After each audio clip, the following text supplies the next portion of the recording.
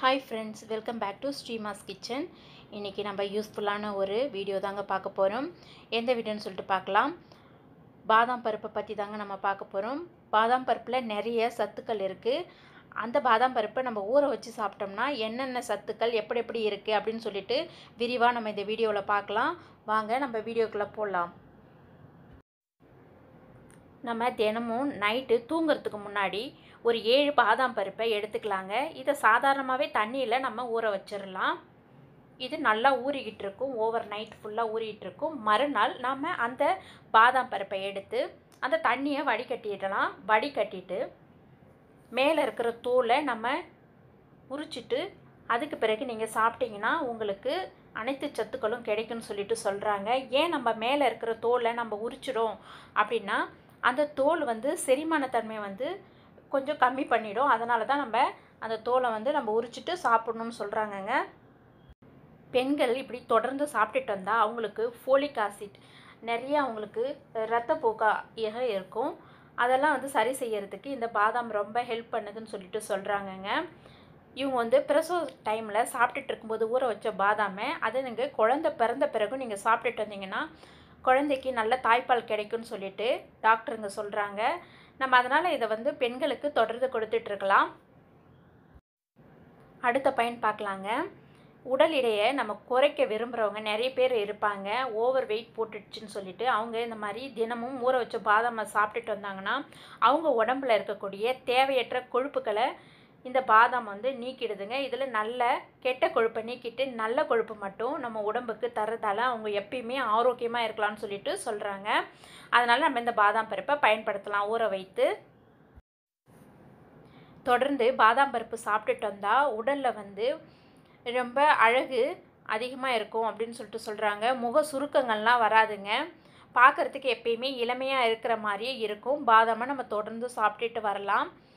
பாதாமில் வந்து முடி வளர்ச்சிக்கு ஊட்டத்துக்கு அதிகமாக நம்ம வந்து எண்ணெய்களாகவும் இதை யூஸ் பண்ணுறாங்கங்க பாதாம் பருப்பு தொடர்ந்து நம்ம சாப்பிட்டுட்டு வரும்போது நம்ம முடி வந்து நல்லா நீளமாகவும் அதே சமயத்தில் கருமையாகவும் வளரும் அப்படின்னு சொல்லிட்டு சொல்கிறாங்க அந்த சத்துக்கள் எல்லாமே இதில் இருக்குது. தேங்காய் எண்ணெய் இல்லைன்னா ஆலிவ் எண்ணெய் கூட சேர்த்து நம்ம தலைமுடிக்கு பயன்படுத்திட்டு வந்தால் தலைமுடி வந்து கொட்டுறது நின்றுடும் அப்படின்னு சொல்லிட்டும் இந்த பாதாமில் நிறைய சத்துக்கள் நமக்கு ஆய்வில் சொல்கிறாங்கங்க கர்ப்ப காலத்தில் பெண்கள் வந்து இந்த பாதாம் பருப்பை கண்டினியூவாக நம்ம எடுத்துகிட்டு வரும்போது அவங்களுக்கு சுகப்பிரசவம் நடக்கும். பாதாம் பாலாகவும் அவங்க குடிக்கலாங்க. அதில் குங்குமப்பு கொஞ்சம் போட்டுக்கலாம்.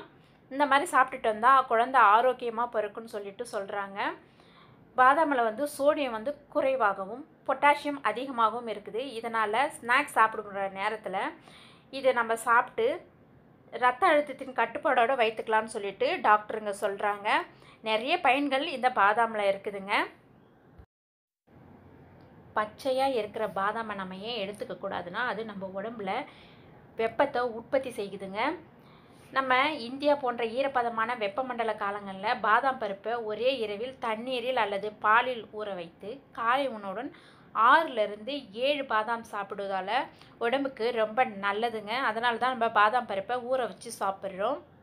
நம்ம எந்த ஒரு பருப்புகளும் சாப்பிடும்போது அளவுக்கு அதிகமாக எடுத்துக்க கூடாதுங்க. அதில் பாதாம் பருப்பும் ஒரு உதாரணம். இப்போ நீங்கள் பாதாம் பருப்பு அதிகமாக எடுத்துக்கிறோம் அப்படின்னா அதில் என்னென்ன தீமைகள்னு சொல்லிட்டு பார்க்கலாம். பாதாம் சத்தில் பாதாமில் நிறைய நார் சத்து அதிகம் இருக்குதுங்க. நார்ச்சத்து ஆரோக்கியத்திற்கு தீங்கு விளைவிக்கும். எனவே தான் நம்ம பாதாம் பருப்பு அதிகம் சாப்பிட்டா வயிற்று தொடர்பான பிரச்சனைகள் நிறைய வருங்க. வயிற்றுப்போக்கு நடக்கலாம். வயிறில் உப்பசம் மாதிரி இருக்கும். அது ஒரு மாதிரி இழுத்து பிடிச்ச மாதிரி இருக்குங்க. அதனால் நம்ம வந்து பாதாம் பருப்பை வந்து கொஞ்சமாக தான் சாப்பிட்ணும். எப்பயுமே அளவுக்கு மிஞ்சினால் அமுதமும் நஞ்சுங்க. அதனால தான் நம்ம நம்மளுடைய முன்னோர்கள் வந்து குறைந்தது ஏழு பாதாமை வந்து இரவில் ஊற வைத்து நம்மளை சாப்பிட சொல்கிறாங்க பாதாம் பருப்பை நம்ம எப்படி எடுத்துக்கலாம்னு சொல்லிட்டு பார்க்கலாம். கொலஸ்ட்ரால் அதிகமாகவும் கேடு செய்யும் கொலஸ்ட்ரால் குறைவாகவும் தினமும் பாதாம் பருப்பு இருபத்தஞ்சு கிராம் சாப்பிடணுங்க. நீண்ட நேரம் ரொம்ப ஹார்ட் ஒர்க் பண்ணுறவங்க எல்லாருமே அவங்களுக்கு நல்ல கொலஸ்ட்ரால் தேவைங்க. வேலையும் கவலையும் அதிகம். எனவே நம்ம பாதாம் பருப்பையே கொஞ்ச நாட்கள் தொடர்ந்து சாப்பிட்டால் போதுங்க. இதனால் விட்டமின் வந்து தாராளமாக கிடைக்கும். நம்ம உடம்புல நல்ல கொலஸ்ட்ரால் மட்டுமே இந்த பாதாம் பருப்பால் கிடச்சிட்டு வரும். இந்த பாதாம் பருப்பை நம்ம வந்து சாப்பிட்றதோட பாதாம் மில்காவும் குடிக்கலாங்க. பாதாமில் காணப்படும் நார் சத்துக்களும் ஆன்டி ஆக்சிடென்ட்டுகளும் புற்றுநோய்களை வரைவிடாமல் தடுப்பதாக விஞ்ஞானிகள் சொல்கிறாங்க புற்றுநோய் செல்களை வந்து இந்த பாதாம் வந்து கில் பண்ணிடுது கொன்னுடுது அப்படின்னு சொல்லிட்டு சொல்கிறாங்கங்க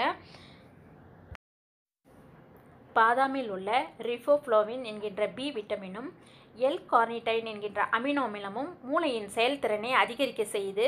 இதனால் வந்து ரொம்ப ப்ரில்லியண்ட்டாக குழந்தைங்க இருப்பாங்க அப்படின்னு சொல்லிட்டு சொல்கிறாங்க எப்பயுமே ஞாபக சக்தி கம்மியாக போகுது அப்படின்னு நமக்கு தோணுச்சுன்னா நிறைய பேர் வந்து எனக்கு ஞாபகம் வரதில்ல மறந்து போயிடுது அப்படின்னு கொஞ்சம் ஏஜ் ஆன பிறகு சொல்லுவாங்க. அவங்க இந்த பாதாம் பருப்பை நீங்கள் கண்டினியூவாக நீங்கள் எடுத்துகிட்டு வந்தீங்கன்னா உங்களுக்கு இந்த மறந்து போகிற பிரச்சனைக்கு ஒரு நல்ல தீர்வுங்க இந்த பாதாம் பருப்பு. பாதாமுடைய மருத்துவ குணங்களை பார்த்தோம்னா பாதாம் தோலில் உள்ள ஃப்ளவனாய்ட்ஸ் மற்றும் விட்டமின் இ e சத்தானது இதய நோயை கட்டுப்படுத்த வல்லதுங்க. நூறு கிராம் பாதாமில் ஐம்பத்தெட்டு சதவீதம் கொழுப்புள்ளது அதனால் இது ஒரு நல்ல கொழுப்பு தாங்க இதய நோய் உள்ளவர்கள் வாரத்தில் ஐந்து நாட்கள் நம்ம பாதாம் பருப்பு எடுத்துக்கிட்டோம்னா மாரடைப்பு வரும் அபாயம் ஐம்பது சதவீதம் குறையும்னு சொல்லிட்டு டாக்டருங்க சொல்கிறாங்கங்க எடையை குறைக்க வேண்டும் என நினைப்பவர்கள் வாரத்தில் இரண்டு முறை ஐந்து ஐந்து பாதாம் எடுத்துக்கொண்டால் எடை குறைப்பு முப்பத்தோரு சதவீதம் நமக்கு குறையும்னு சொல்லிட்டு சொல்கிறாங்க இப்படி பல பயன்களை தரக்கூடிய ஆரோக்கியமும் அழகியும் அள்ளி தரக்கூடிய பாதாம் பருப்பை நம்ம டெய்லியும் எடுத்துக்கலாம்.